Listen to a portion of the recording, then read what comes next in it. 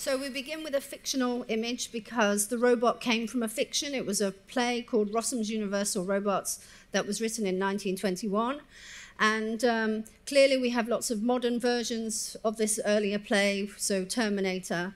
And on the other side, we see a, a film that was supposedly about the Turing test called Ex Machina. And Interestingly, it was directed by a man, and the advisors on the project from the robotics community were also men, and they called it a love story. Now, I don't know any woman who believes that being locked in a cage is a sign that someone loves you. So this is a real, this is really serious. They called that a love story. I thought it was more a film about domestic violence. Um, so this is a reason why we need women in AI. So we keep getting these preposterous images anyway circulated all the time. So somehow we're going to create an exact replica of a human being, and then we're going to put them at a computer as a way to solve our problems. Um, so as a result of all these kind of fictional ideas that are circulating, and these, we've heard some very extraordinary predictions today. There are all these groups that have been set up, including my own. I'm the founder of the Campaign Against Sex Robots. And these groups are really trying to think about what's coming and try to develop ethical ideas around them. But I guess the question I want you to start thinking about is why single out ethics? Why not single out politics or economics?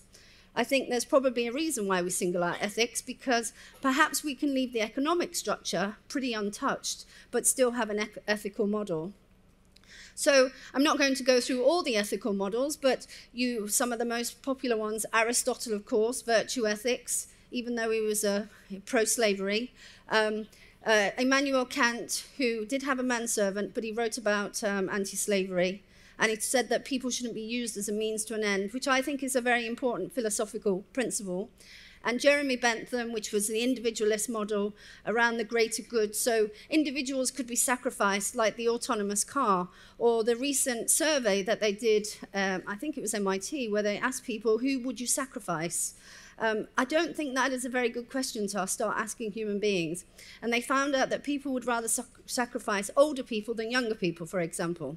But when we introduce sex and race into that, is that acceptable for that question to be asked in the first place? So even the ethics questions need an ethics uh, analysis. And it's quite simply ethics, you know, is a guide to moral behavior. But I don't want people to think there is, there is an ethics out there um, that we can kind of identify a formula and that we can use because we can't. There are so many eth ethical paradigms, they have underlying philosophies, and depending on your perspective, you are going to choose one or another. And I thought a good example of this would be um, the European Commission GDPR. And so that's trying to protect citizens from corporations, right? So it's an individualist paradigm. Um, so you protect the citizen against the corporation. But the corporations like Apple are also using the individualist paradigm because they're saying we need to protect the individual from the state. Um, so simultaneously, they're both using a very similar ethical paradigm in order to, if you like, um, justify their ethical platforms. Now, the word citizen was created at a time when only 6% of property owning men were citizens.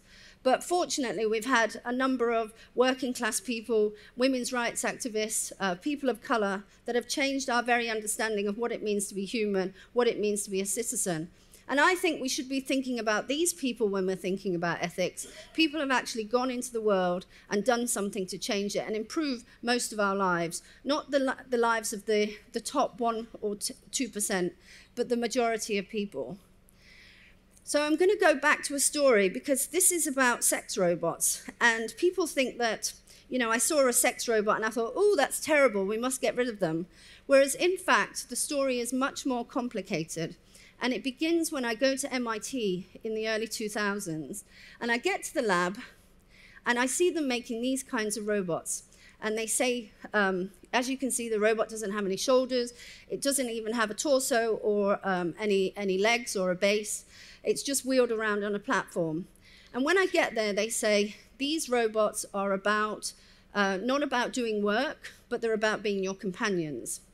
And I want people to think about that because I knew when they said that something had changed in the world.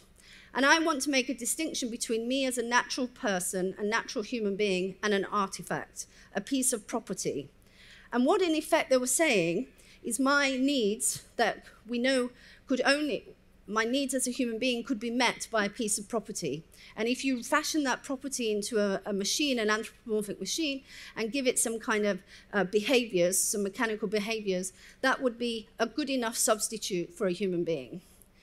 And um, so they not only thought this idea, right, but they then started trialing these robots among aging communities, among people with disabilities. And um, interestingly, one of the problems that they, they frame this around is saying that we've got a crisis of, you know, people, loneliness. But why have we got a crisis of loneliness when there are 7.5 billion people in the world? It makes absolutely no sense why we've got this modern problem.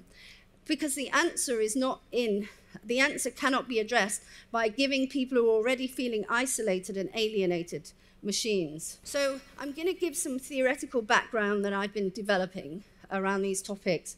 So I've split models that are, I think are the orthodox models in our culture into two. The first one is the I model, the egocentric paradigm, the kind of American Ayn Rand individualist, the AI uh, citizen who's going to merge with machines, Ray Kurzweil. um, and interestingly, the I model is all about the person being reframed as a piece of property that you can intervene in.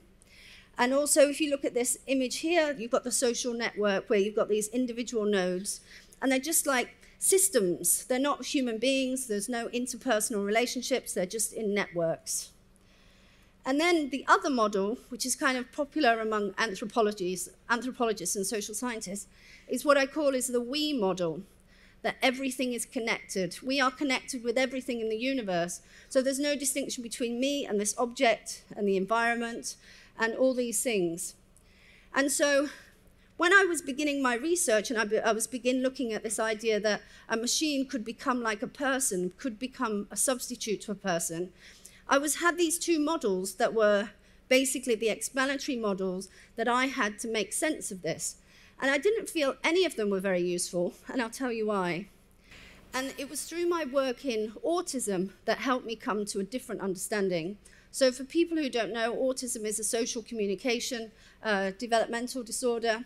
And they started in the lab at MIT, started saying, started comparing the machines that we're creating to people with autism. They said, you know, an autism is kind of like a machine-like state, and people with autism prefer objects to other people. So they started normalizing these ideas, which uh, the origin is in the work of Simon Baron-Cohen uh, with his empathizing, systematizing. And what he does is he naturalizes sex difference be between men and women. He says women are natural empathizers and they want to take care of people, whereas men are the men who build systems and they're, you know, these, the, they're systematizers. And autism is a, an extreme male brain. So the, robotic, the roboticists that I was working in with autism picked up these ideas from Simon Baron Cohen, and then they started to develop robots. And they started to get millions of euros to develop these robots and to push these ideas. And even when the even when, and I've actually been in situations when the robots didn't work, they still managed to keep getting the resources in order to uh, promote this perspective. And then you see a number of our articles coming out curing robot autism. So people just don't even care anymore. I mean, think about it. We've come a long way when we think about disability and people of difference. And to go back and start comparing people of, who are different to machines is something I think we should be very concerned about. And I want to rest on this image for a minute because this was um, created by a Brazilian artist. And as you can see, it's an autistic child with his robot. The robot looks more alive than the child. Now, how do I make sense of an image like that? If I took the egocentric paradigm, the I model, then they're just two disconnected entities. You know, there's no relationship between them. If I take the we are all connected, then actually there's no difference between them. So either, which either model you use, you're not really going to have the power to explain what's really going on in robotics when they start saying people can have relationships with machines. So I had to look somewhere else. I began to look at attachment studies, how people uh, develop attachments and the importance of attachments in our lives. And obviously, there's this important um, finding that every single person in this room is only alive because somebody kept you alive, put clothes on your body, uh, put food in your stomach, kept a roof, loved you, cared for you, talked to you, and all those things. So the idea that somehow we are adult human beings without taking into account we're actually human beings as an outcome of our relationships with each other, which begin as dependencies when we're young, but when we become adults, we then have pair bonding relationships and we then can care for others. And um, people are saying, well, no, we can, we can take um, a species out of its own species, put it in a different environment with machines, and everything's going to be fine. Well, it's not going to be fine because they already started to experiment with this in monkeys in the 50s and 60s. Um, so these are the Harry Harlow experiments. They took an infant monkey from its mother, put it in a cage. One of the, um, it's called the wire monkey experiment. One of the wire monkeys just had food on it. The other uh, monkey had a soft covering. So what, the, what Harry Harlow wanted to do is look at what, which monkey did the infant go to. And the infant would go to the, uh, the wire monkey, eat, and then immediately go to the soft covering. And you can see the absolute distress that this, um, this animal is experiencing. Um, unfortunately, experiments on animals like this still go on, and I think they should be abolished. But not only did the, the monkeys have um, trauma from that early experience, but when they released the monkey back into its community, it couldn't mate, it couldn't eat, it couldn't respond to other monkeys. Because to be a monkey, you need to be in a species with an environment with other monkeys. To be human, we need to be with other humans.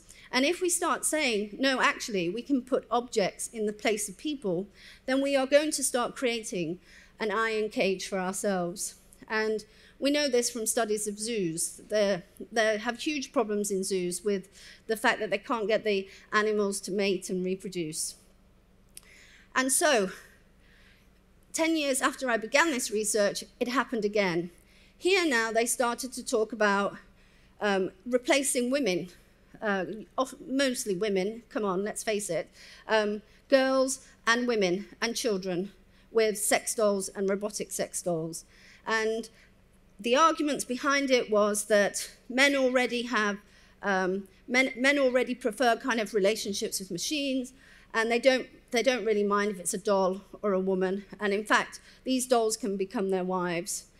And they began to make associations between prostitution and sex dolls.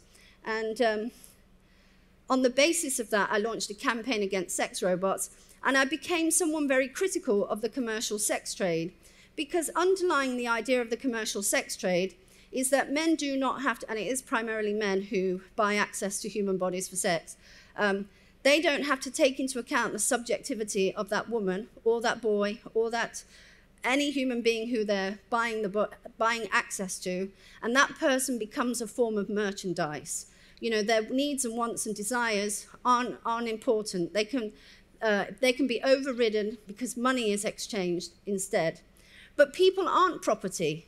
And if you start reframing the human being as a form of property, then we're end ending back when we're starting to interchange this idea, idea that people and property are kind of interchangeable. And it makes sense in the commercial sex trade because it is a global sex trade. It's worth 100 billion uh, pornography is worth so much money that it's too innumerable to count. It features images of women being degraded and abused um, and harmed. And um, unfortunately, Pornhub is the second most visited website in the world, which to me strikes me we've got a huge problem on our hand if we want to have a different kind of consciousness where we're going to abolish slavery and um, have worldwide women's rights. And um, you know, clearly in the field, it's a very male-dominated field. So uh, there was lots of debate around signing petitions against autonomous weapons, and um, the people who were signing those petitions were saying, no, we wouldn't sign a petition against sex robots. But I want to say that what happens to women in the world is important. Two women every week die at the hands of a former or ex-partner. There is uh, rape, uh, uh, torture of women, there's prostitution, there's pornography, there are real things happening to women every day in this city, across Australia, across the world. And these, these issues are urgent if you believe in women's rights, as I do. But this fantasy that men can be alone with their machines is one that's becoming to dominate.